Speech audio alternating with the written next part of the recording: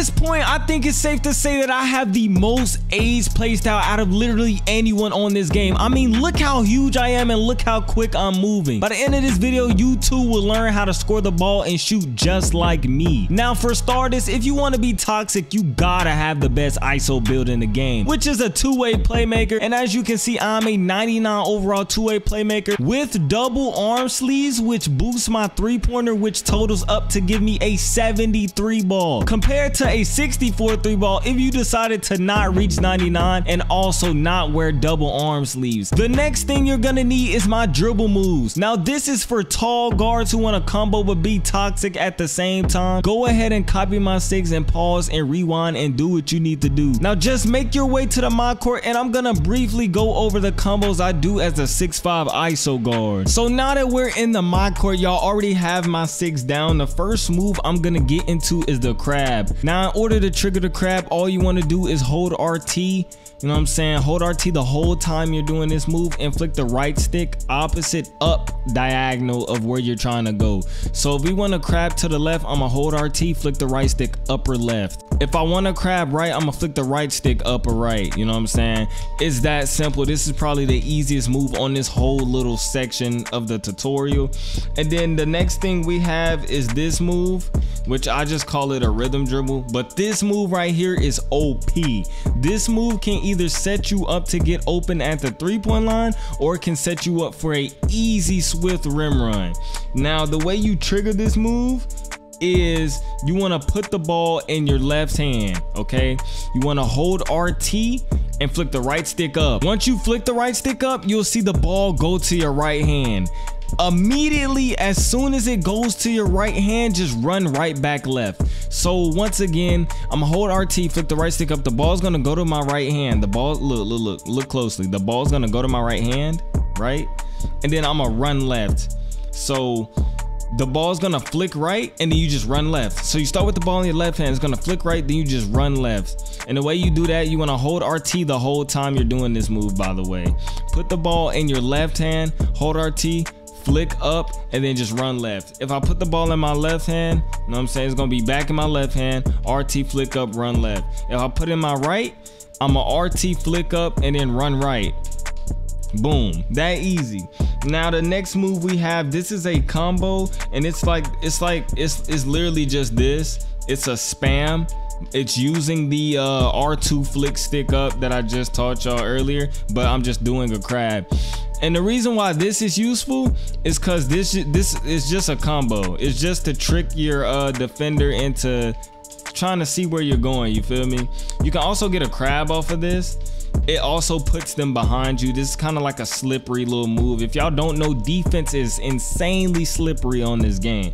But enough talking. So the way you do this move is literally you hold RT the whole time doing this move first off, and then you just flick the right stick up and then as soon as the right stick goes to the left, you want to flick the right stick back up or right to do the crab. So you do a rhythm dribble, then you just do the crab.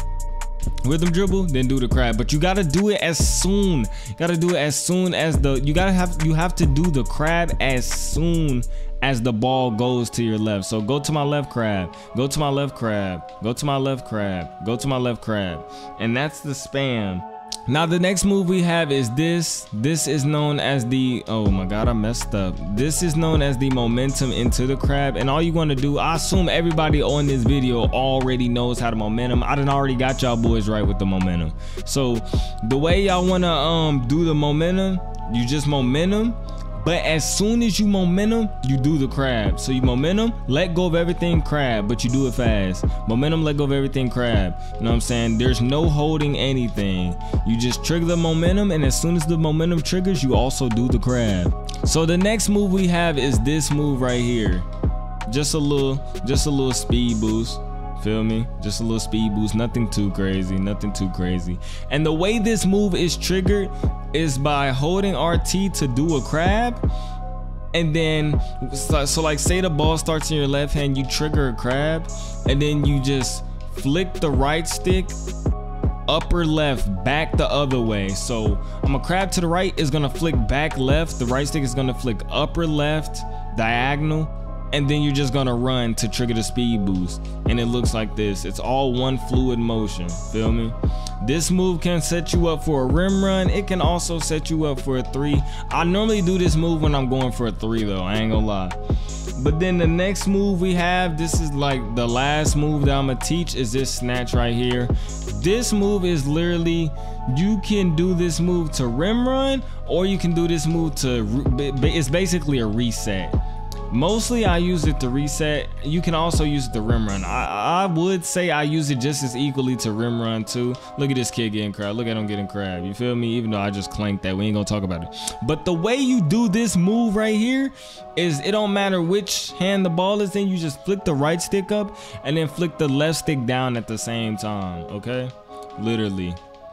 You flick the right stick up and flick the left stick down literally at the exact same time. Wait, actually. No, no, I lied. Okay, okay. Flick the right stick up and then flick the left stick down, like separate it like in between like one second. So it's like a one, two, one, two, one, two, one, two. Yeah. So flick the right stick up and then flick the left stick down. It's literally that simple. Now, in terms of my play style, one thing I pride myself in is being literally one of the best shooting two-way playmakers on this game, and these badges fit my play style perfectly. Now, as far as Chef goes, Chef literally just allows you to shoot threes more consistently. Hot Zone Hunter also does the same thing. When you have hot zones almost everywhere on the court, it just allows you to shoot at maximum efficiency. You know what I'm saying? Everybody knows about stop and pop. This move activates on literally any dribble move you try to do. Like whether that's a crab, whether that's just a quick stop, crossover, anything, it activates. Volume shooter is a slept on badge. I feel like some people low key forgot about this badge, but literally this badge is OP because literally every time you shoot the ball, your jump shot gets boosted. Who would not want a boost every time they shot the ball?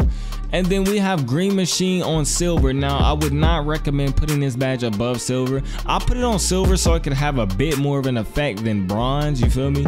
So keep this keep this badge on silver, you'll be straight. Now, Rhythm Shooter.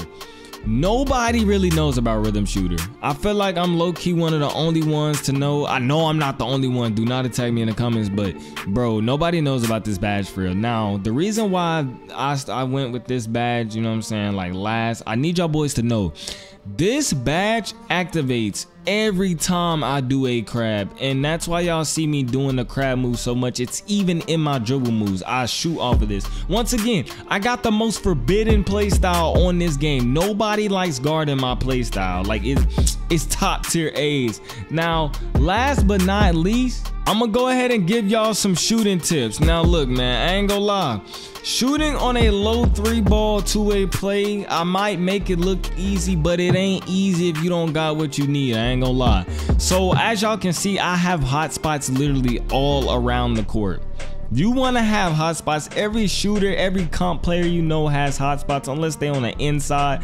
They all have hotspots around the three-point line. Now, if you want to know the fastest way to get it, some people recommend playing park, but I'm, I'm going to tell you right now, if you try to go to park with a low three-ball build, bro, it's not going to go too well for you. So what you want to do is you want to go to options and quit, and I think it's what, controller settings, or what is it?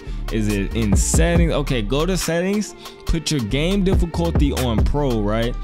And then all you want to do is play a game and shoot five shots in literally every single spot. Once you shoot five shots in every single spot, you will be set. You know what I'm saying? You will get your hot spots easily, nice and fast. And then last but not least, man, I'm gonna just go ahead and give y'all the best jump shot on this game. I mean, this this has to be the best jump shot I've used literally amateur 8 release 57 and release 57 nobody knows about these releases i'm not gonna lie i found these off of like nba 2k lab or nba 2k tuts i think that's one of them and then it is max speed it is literally max speed so just go max speed on this jump shot and you'll be guaranteed to go crazy but it's been your boy Disto, man. I hope y'all will be playing just like me. I hope y'all will be going crazy with the fastest jump shot and best fastest dribble moves on this game.